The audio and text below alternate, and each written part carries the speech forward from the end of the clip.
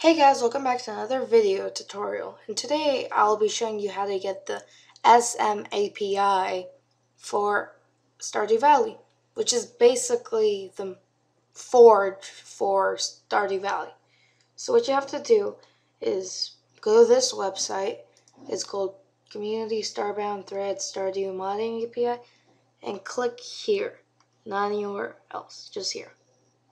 It'll send you to this website and then you click SM API of whatever type that is.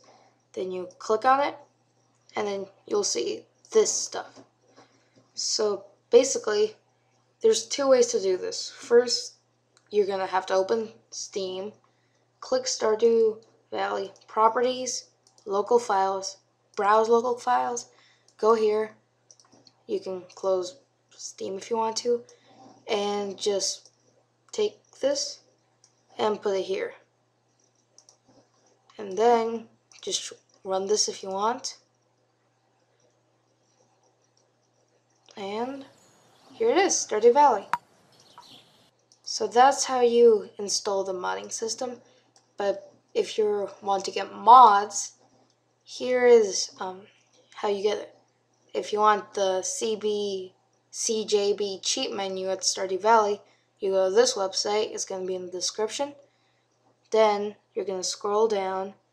Actually, no, you're going to go to Files, and then the latest one, which is 1.12 for now.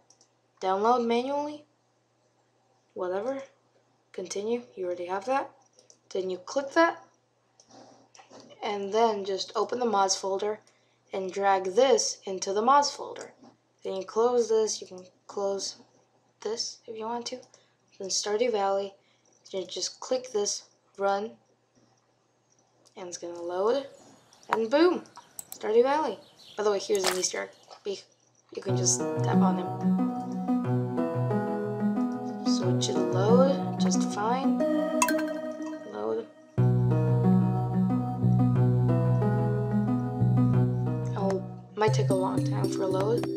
I'm gonna go to Bob because that's the one I cheat on.